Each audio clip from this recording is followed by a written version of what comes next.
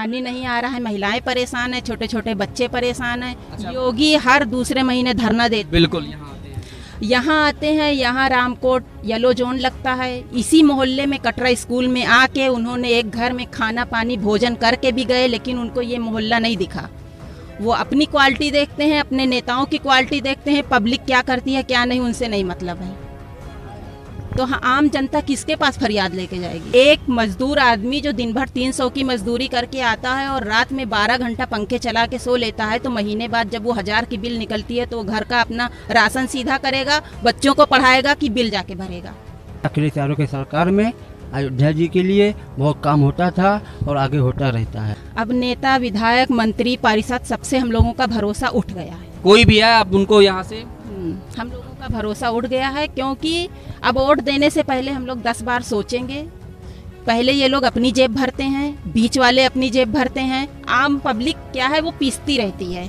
जब से ये योगी आए हैं जब से ऐसा स्वाद आने लगा पानी में पहले सही पहले सही रहता था ऐसा कुछ नहीं रहता दो महीने से पानी की दिक्कत है। गर्मी का दिन देख लीजिए सीएम के पास भी फ़ोन गया पेपर में भी निकलवाया गया इसकी कोई सुनवाई नहीं हुई। पानी गंदा आता था जिसकी सुविधा है जिसके पैसे हैं वो बीस रुपए की बिस्लरी लेके पी लेता है नहीं बच्चे बूढ़े जवान सब वही पानी पीते हैं। अच्छा लेकिन मोहल्ले में विकास नहीं होता है विकास तो बड़े बड़े नेताओं का होता है। जो नेता होते हैं, बिचौलिया खाने वाले विकास उनका होता है। फोर लेंथ बन रही है, लोगों का दुकान जा रहा है, व्यवसाय उजड़ रहा है। भगवान को मतलब ज़मीन देने पे, भगवान के सर पे छत करने पे लोगों के सर की छत चली जा रही है। तो इसको विकास कहते हैं। लोगों को एक डर, खौफ लगा रहता है कि पता नहीं मेरा मोहल्ला बीसी में आ जाए। कि जो सरकारी टीचर है, वो भी अपने बच्चे को प्राइवेट में पढ़ा रहा है तो क्यों पढ़ा रहा है? उसकी कोई वजह वैल्यू है? कभी सरकारी स्कूल में कभी कोई आता है, जनगणना के लिए बच्चे की पढ़ाई कैसी चल रही है, बच्चे का खान पान क्या चल रहा है? बच्चे काखा गाघा शुरू से कक्षा एक से पाँच तक, बस वो सौ तक गिनती में, दस तक पहाड़े में और काखा गाघा में खुश रहते हैं। नमस्कार, आप देख रहे हैं अपना उत्तर प्रदेश न्यूज़। मैं हूँ आपके साथ विवेक। यूपी विधानसभा चुनाव में जो है, सिर्फ़ छः महीने का वक्त बचा पड़ा है।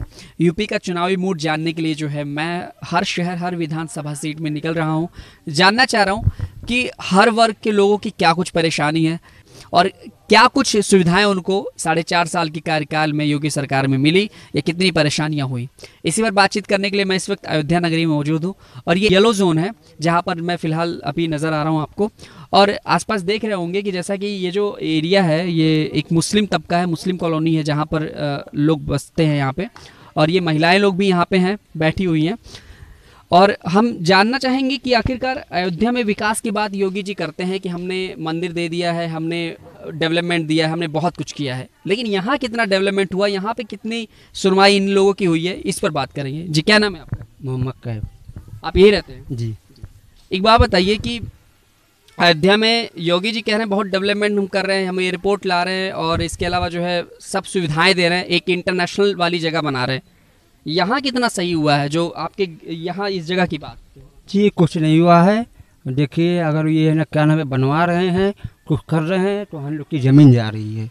ज़मीन जा रही है? जी और हमारे सरकार में अखिलेश यादव की सरकार में अयोध्या जी के लिए बहुत काम होता था और आगे होता रहता है। तीन महीना बचा है चुनाव का। तो चुनाव में इस बार आप किसको लेके आएँगे? जी मैं चाह, चाहता हूँ हमारे पहले से जो अखिलेश यादव थे वो फिर आए।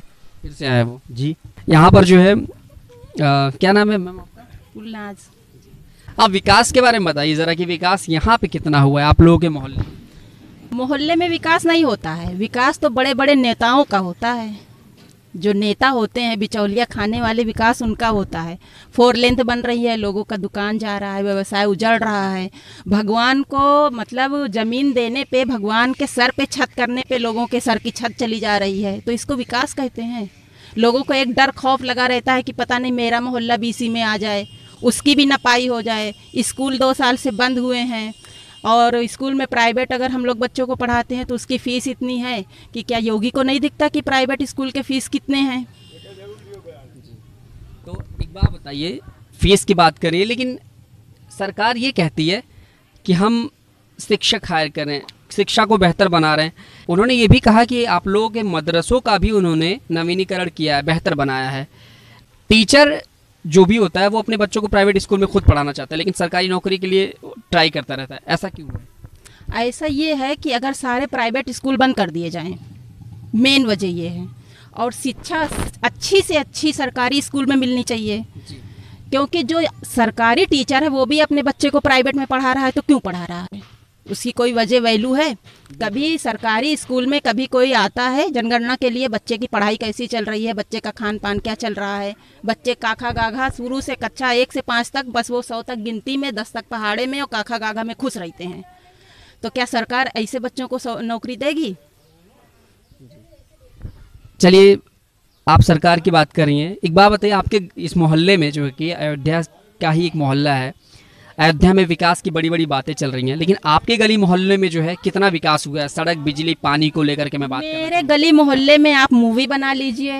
आपको कौन सी रोड अच्छी लग रही है आप खुद समझ रहे हैं पानी नहीं आ रहा है महिलाएँ परेशान है छोटे छोटे बच्चे परेशान है। योगी हर दूसरे महीने धरना देते हूँ। बिल्कुल यहाँ आते हैं यहाँ आते हैं यहाँ रामकोट येलो जोन लगता है। इसी मोहल्ले में कटरा स्कूल में आके उन्होंने एक घर में खाना पानी भोजन करके भी गए लेकिन उनको ये मोहल्ला नहीं दिखा। वो अपनी क्वालिटी देखते हैं अपने नेताओं की क्वालिटी देखते हैं पब्लिक क्या करती है क्या नहीं उनसे नहीं मतलब है। तो हाँ आम जनता किसके पास फरियाद लेके जाएगी? पानी की समस्या के बारे में थोड़ा बताइए पानी किस तरह से आपको नहीं मिल पा रहा है? पानी की क्या कुछ दिक्कतें हैं? पानी आज के पाँच साल पहले बहुत दिक्कत थी। बहुत दिक्कत थी अखिलेश का ज़माना था। इतनी दिक्कत थी कि यहाँ की महिलाएँ बच्चे हम लोग जल कल पे धरना देते थे पेपर में आता था उसके बाद में तेज नारायण पांडे ने यहाँ पास करवाया एक पंपिंग सेट के लिए। ये जब लग गया, उसके बाद में लगभग बराबर पानी आता था। अब वो जब खराब हो गया, उसमें कुछ ऐसे गंदगियाँ हो गई या कुछ भी हो गया डिसबैलेंस हो गया तो दो महीने से पानी की दिक्कत है। गर्मी का दिन देख लीजिए सीएम के पास भी फ़ोन गया पेपर में भी निकलवाया गया इसकी कोई सुनवाई नहीं हुई। पानी गंदा आता था जिसकी सुविधा है जिसके पैसे हैं वो बीस रुपए की बिस्लरी लेके पी लेता है नहीं बच्चे बूढ़े जवान सब वही पानी पीते हैं। अच्छा लेकिन ज़्यादातर लोगों से हमने जब बात की है तो लोग यही कह रहे हैं कि अयोध्या का जो पानी है वो सरयू नदी होने की वजह से जो है हर जगह सप्लाई में उसी तरह की मतलब वो स्वाद रहता है उसी तरह से गंदा नज़र आता है। ऐसा कुछ नहीं है इससे पहले ऐसा कुछ नहीं था। जब से ये योगी आए हैं जब से ऐसा स्वाद आने लगा पानी में। पहले सही पहले सही रहता था ऐसा कुछ नहीं रहता था। बिजली को लेकर के क्या कहें? बिजली की समस्या को लेकर के सुना है मैंने कि बिजली के मीटर में बिल जो है बहुत ज़्यादा आ रहे हैं। बहुत आती है और योगी जी कहते हैं कि 18-20 घंटे हम सप्लाई दे रहे हैं ग्रामीण से लेकर शहरी इलाकों में। हमने कहा योगी जी 18 चौबीस घंटे सप्लाई दे। लेकिन एक मजदूर आदमी जो दिन भर 300 की मजदूरी करके आता है और रात में 12 घंटा पंखे चला के सो लेता है तो महीने बाद जब वो हज़ार की बिल निकलती है तो घर का अपना राशन सीधा करेगा बच्चों को पढ़ाएगा कि बिल जाके भरेगा। तो कुल मिलाकर के यहाँ पे बिजली की भी समस्या है। अच्छा बिजली की सप्लाई कितने घंटे आप लोगों को मिलती है? बिजली की सप्लाई तो मिलती है। लेकिन बिजली का बिल कितना आता है? मैक्सिमम अगर आप तीन से चार लोग सदस्य हैं परिवार में। मेरे घर में पाँच सदस्य हैं। दो पंखे चलते हैं गर्मी में दो कूलर चलते हैं और टंकी भरने के लिए आधे घंटे मोटर रख लीजिए और जो पेड़ों की सिंचाई होती है उसके माध्यम से बाईस हम बिल देते हैं। महीने का बाईस मंथली का। काफ़ी दे सकते हैं। मतलब महँगाई पानी की भी समस्या बिजली की भी समस्या योजनाओं में बहुत सारी योजना लेके आ रहे हैं कह रहे हैं कि मुस्लिमों को जो है कन्या कन्या की योजना दे रहे हैं। मतलब उनकी जो बेटियाँ हैं वो शादी करने के लिए जो है कुछ नहीं योजना मिलती है पहले तो कोई योजना गिना दीजिए साढ़े चार साल में कुछ भी जो आपको मिला चार साल में हमको तो कुछ नहीं मिला है बाकी बहुत से लोगों को ढाई लाख का वो योजना मिला है। आवास की बात नहीं था आवास की बात। और जो योजना ये बच्ची वाला है ये है तो इतना इसमें दौड़ो भागो इधर जाओ उधर जाओ कि महिलाएँ सारा दिन वैसे परेशान हो जाती हैं। इनके दरवाजे पे दस्तखत दो वो दफ्तर में जाओ अप्लाई ऑफ़िस में जाओ तो महिलाएँ कहाँ दौड़ेंगी?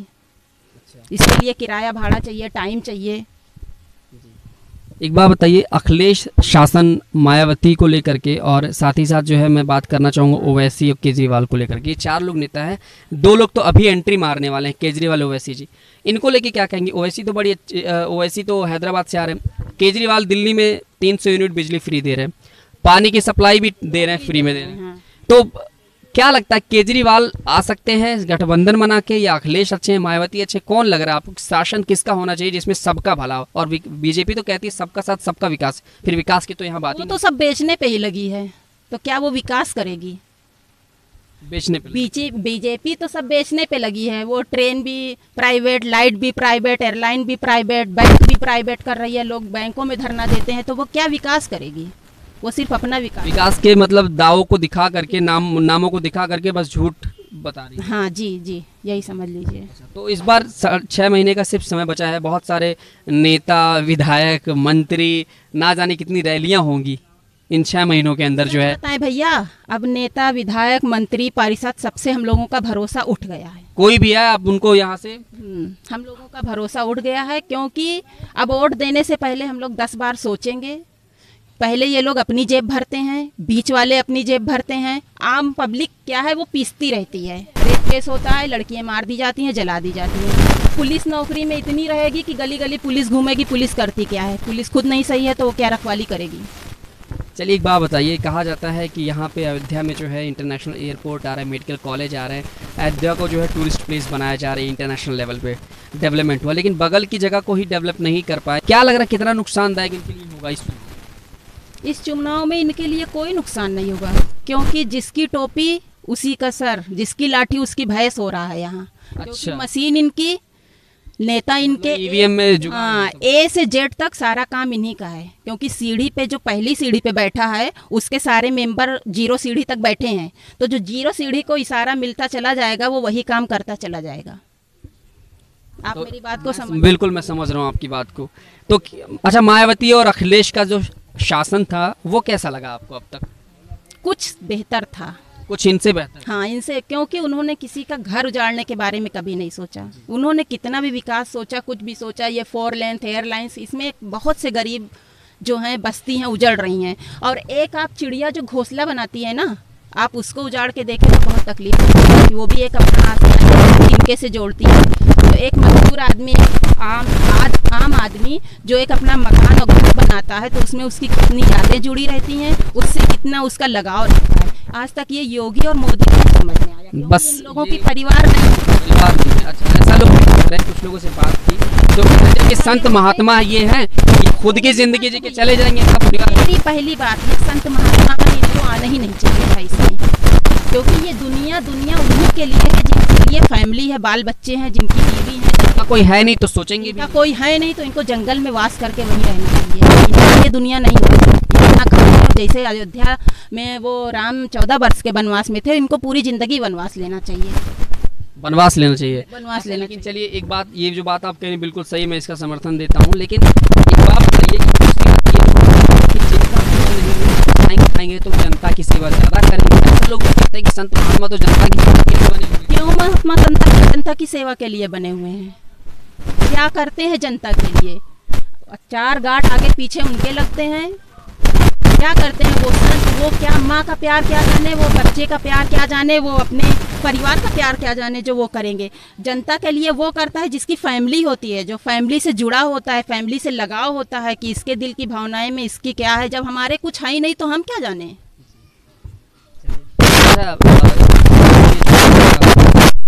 चाहूँगा ओवैसी जैसे कहते हैं कि मुसलमान हमारे भाई हैं, वो आपके परिवार के लगते हैं वैसी को लेके क्या कहेंगी वो? क्योंकि उनको क्या लगता है कि बस एक दिखावे की बात है? ऐसा कुछ नहीं है कि वो ऐसी हैं तो हमारे भाई हैं।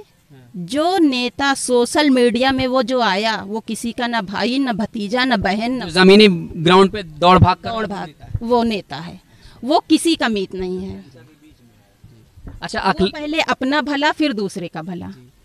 चलिए अखिलेश तो क्या लग रहा है इस बार आना उनका जो है गलत हुई होगा? अगर अगर चुनाव लड़ भी रहे हैं वो तो कह रहे हैं जहाँ पे मुसलमानों की संख्या ज़्यादा है वहीं पे चुनाव भी लड़ेंगे और वो टिकट भी देंगे। भैया ऐसा है ये लोगों की गठबंधन रहती है। सब मिली भगत सब मिली भगत रहती है पिसती है इसमें जनता हम बार बार आपसे कहते हैं। अखिलेश हैं के आएँगे बात करेंगे तो हमको पता चलेगा अंदर क्या चल रहा है कोई नहीं जानता। अच्छा अखिलेश और मायावती को लेकर के मैं चाहूँगा। अखिलेश और मायावती को लेकर के जो है मैंने बहुत सारे मुसलमानों से भी बात की। उनका ये कहना है कि उनका सिर्फ़ इस्तेमाल हुआ है। उनके वोटों का इस्तेमाल किया मतलब उनको भाई बना करके या अपना हितैषी बना करके कहते हैं छुरा खोपना वही अखिलेश ने किया है।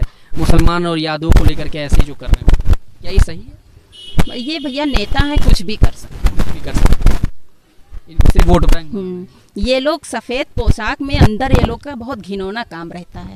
ये खाली ऊपर से सामने के दिखावे से बहुत अच्छे रहे तो कुल मिलाकर ये आखिरी सवाल है कि क्या फेरबदल करेंगे इस बार सत्ता में आप? या लगने वाला है कि फेरबदल होगा? या योगी जी आएँगे फिर से? योगी ही जी आएँगे। आएँगे योगी? आएँगे योगी क्योंकि आपसे हमने कहा ना जो फ़र्स्ट सीढ़ी पे है उसके सारे नेता ज़ीरो पे बैठे हुए हैं जो इशारा करता रहेगा ज़ीरो तक वही आएगा। अच्छा और मजबूरियाँ हैं? मजबूरियाँ हैं आप समझ रहे हैं।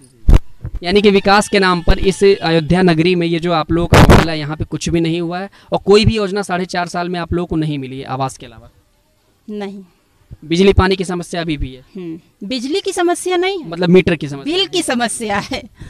बिजली की समस्या नहीं है बिजली मिलती है। अच्छा लगा बात करके बहुत बहुत शुक्रिया। लोगों के अंदर का जो गुस्सा है वो कहीं ना कहीं दिखता है प्रशासन को लेकर के जो है। खास तौर से जब यहाँ पे सड़क बिजली पानी की बात सरकार करती है और अयोध्या जैसी नगरी जो कि इतना डेवलपमेंट डेवलपमेंट हो रहा है धीरे धीरे, इतना पैसा लगाया जा रहा है यूपी सरकार की तरफ़ से, लेकिन फिर भी ये जगह अभी भी जो है वीरान सी पड़ी है। मैं कैमरामैन से चाहूँगा कि चारों तरफ़ एक बार तस्वीर दिखा दें वीडियो के माध्यम से कि किस तरीके से जो है। तो ये येलो जोन है, जो कि अयोध्या नगरी में ही एक जगह है, जो कि ज़्यादातर लोग यहाँ पे मुसलमान तबके के लोग रहते हैं, और इन्होंने अपनी समस्या को लेकर के बात की।